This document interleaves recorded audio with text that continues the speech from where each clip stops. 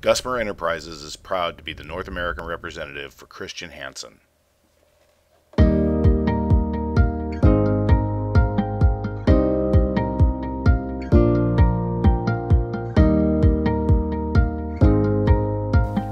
This video will provide you with important information on how to conduct a proper rehydration and reactivation of active dry yeast before inoculating the grape juice.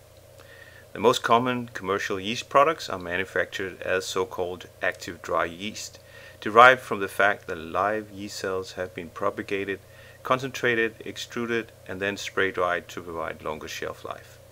The yeast cells are still alive but not ready for metabolic activity.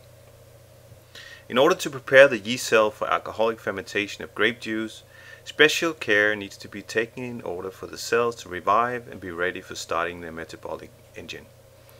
Each individual cell needs to be carefully rehydrated and then reactivated before being put to work in the grape juice.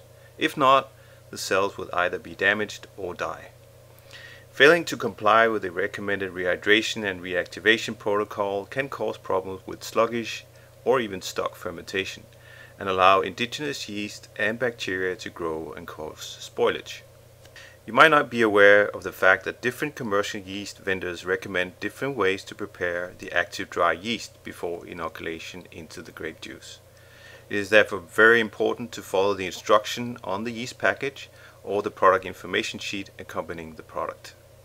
Some vendors recommend rehydration temperatures between 68 to 77 degrees Fahrenheit, 77 to 86 degrees Fahrenheit, and others at 100.4 to 107.6 degrees Fahrenheit. The biggest risk of not following the procedure is that the temperature is not optimal for rehydration and reactivation.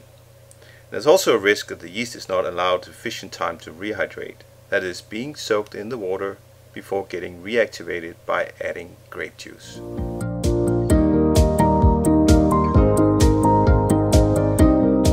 Now demonstrate three different Christian Hansen yeast products to show the optimal rehydration and reactivation according to instruction of use. However, we have also prepared an experiment where the rehydration and reactivation temperature is significantly higher than recommended. Your three best friends will be a thermometer, a clean yeast bucket, and your instruction for use. For safety reasons, do not use a glass thermometer and definitely not a glass thermometer with mercury. Get an industrial approved thermometer that can withstand the winery work conditions. Now, bring out your yeast packet from the refrigerator. Read the instruction carefully, either on the back side of the yeast pouch or in the product information sheet. Fill the yeast bucket with clean water, preferably non-chlorinated water. Heat to recommended rehydration temperature by adding clean hot water, preferably pre-boiled from a tea kettle. Cut the bag open with scissors. Wipe the top of the bag and the scissors with 70% ethanol for sanitation.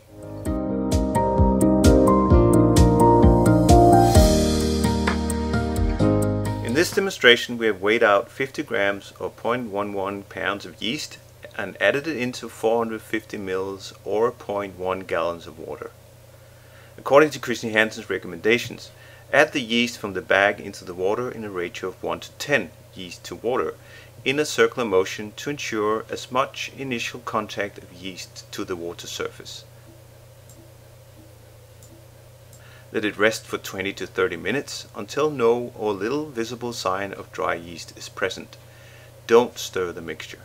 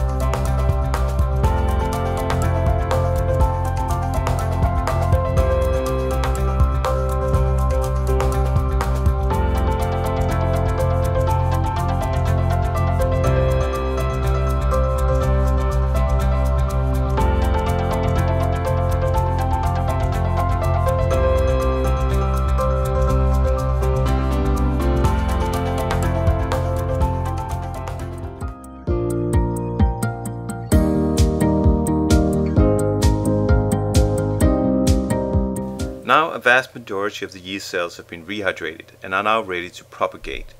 For this purpose the cells need fuel, which is the sugar from the grape juice. Again pay attention to the instruction for use. According to Christian Hansen's recommendation, add unsulfured grape juice into the rehydrated yeast solution in a ratio of 1 to 3 juice to yeast slurry at the recommended reactivation temperature, not too cold. In our demonstration we add 168 ml or 0.044 gallons of grape juice. Stir the yeast slurry gently with a clean spoon to bring the remaining yeast into solution. Let the mixture rest for 20 minutes.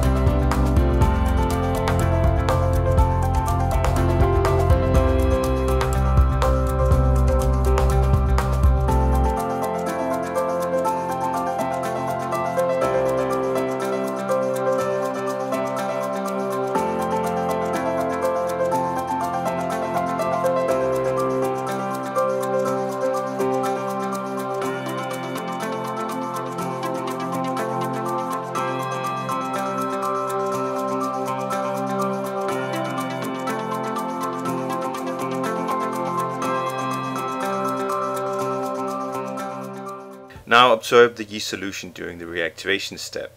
When small visible bubbles emerge on the surface of the yeast bucket, you know that the yeast is starting to metabolize the sugar and the suspension is ready to be transferred to the tank. Pour the yeast suspension on the top of the tank or pump it into the tank depending on your standard operation procedures.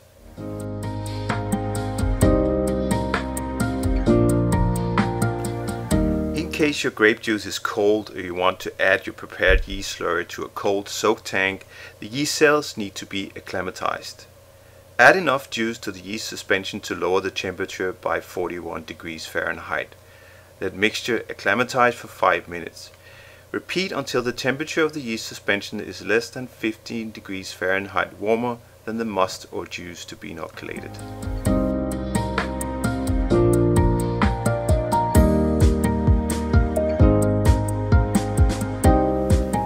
Reason for going through this somewhat tedious procedure of rehydration and reactivation of the yeast is to ensure as many live and well adapted cells as possible to conduct the alcoholic fermentation.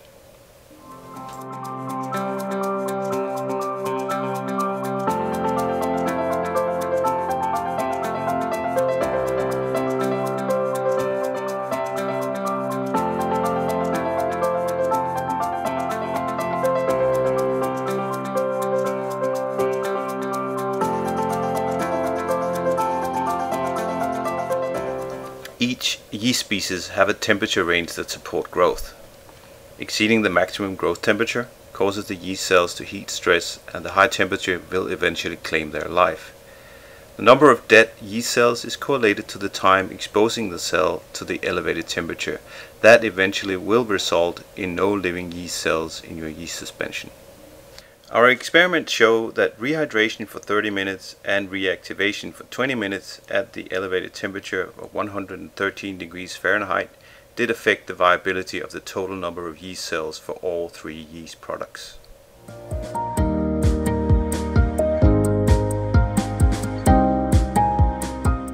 Viniflora Merit, a Saccharomyces cerevisiae yeast strain, lost 25% viability at 113 degrees Fahrenheit compared to the optimal temperature of 80.6 degrees Fahrenheit.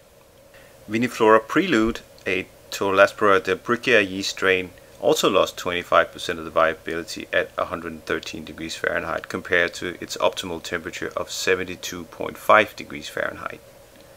Viniflora Concerto, a Lachancea thermotolerans yeast strain lost 12% viability at 113 degrees Fahrenheit compared to the optimal temperature of 72.5 degrees Fahrenheit. For more information, go to gusmerenterprises.com. Click on the Find a Rep on the main menu bar, then choose the industry you're interested in and enter your city and state. The technical sales manager in your region will then be selected. Gusmer Enterprises, service with knowledge since 1924.